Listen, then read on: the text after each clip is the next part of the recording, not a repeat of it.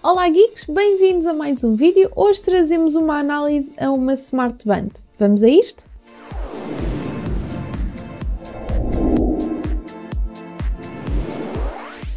Então conhecer a Smart Band 3 da MG Cool, que podem encontrar então na GearBest. Vamos deixar aqui em baixo os links na descrição para conhecerem melhor este equipamento e vamos então conhecê-lo.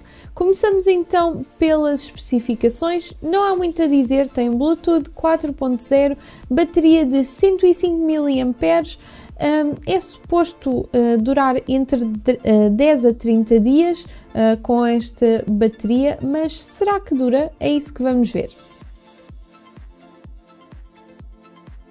Vamos então passar ao design desta Smart Band. É muito simples, tem um, uh, uma bracelete de borracha uh, e esta partezinha de metal, uh, portanto é como se fosse mesmo um relógio. O ecrã é mais quadradinho do que aquilo que estamos habituados, por exemplo, comparativamente com uma Mi Band da Xiaomi, que é o mais conhecido. Portanto, este é mais formato relógio, mas atenção, continua a ser uma, uma banda. A nível de ecrã tem então 0.66 polegadas e uh, tem aqui, portanto, um quadradinho onde dá as notificações e depois em baixo tem, se virmos isto à luz, tem mesmo assim uma partezinha para o touch só. Portanto, o ecrã não é touch, tem uma parte touch em baixo e tem o ecrã na parte de cima. Visualmente não há qualquer diferença, só mesmo à luz, portanto tenham atenção a isso. Falando então da utilização desta Smart Band, aqui no Geekalm temos uh, opiniões bastante dispares uh, em relação a esta banda. Uh, eu sou uma Mi Banda assumida pronto, sou uma fã, não há nada a fazer, mas esta banda desiludiu-me porquê? Porque ela simplesmente desconecta. Nós estamos muito bem a receber as notificações, tudo ótimo. Se for preciso daqui a uma hora, ou daqui a uma hora, ou uh, três horas, ou o que seja, ela simplesmente desconecta. E tem alturas em que está a vibrar porque está a tentar conectar, mas depois desliga outra vez e passado um minuto está a conectar outra vez. Um, e acaba por ser bastante chato. Um, é por isso que muitas vezes eu preferia até tê-la um, sem ser no pulso. A grande diferença também em relação à Mi Band é que com a Mi Band eu consigo dormir com a banda e até tomar banho com ela. Esta supostamente também é IP68, no entanto, é desconfortável de dormir com ela, derivada à bracelete ser uh, praticamente um relógio.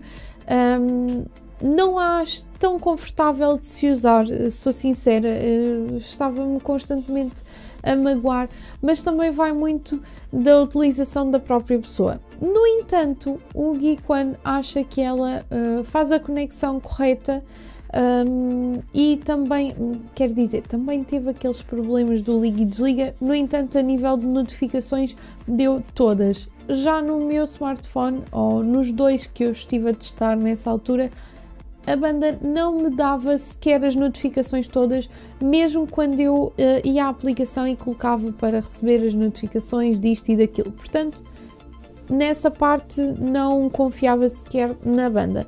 A nível de uh, medição, aqui atrás com, de, do batimento cardíaco, pareceu-nos bem, até porque se nós formos testar com outras bandas dava mais ou menos o mesmo resultado, ali uma diferença de um ou, ou outro número, mas nada de extraordinário, portanto, pelo que nos pareceu, sim, uh, faz bem o seu trabalho.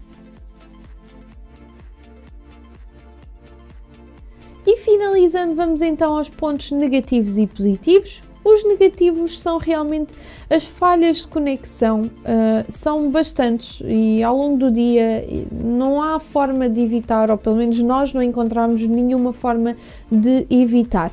O segundo ponto negativo é realmente que a bracelete e a própria banda em si não é confortável, pelo menos em pulsos uh, pequeninos, assim como o meu Um, para terem uma noção, quem conhece a Mi Band eu uso praticamente no, no segundo, uh, no segundo buraquito da, da pulseira, portanto tem uma ideia do quão pequeno.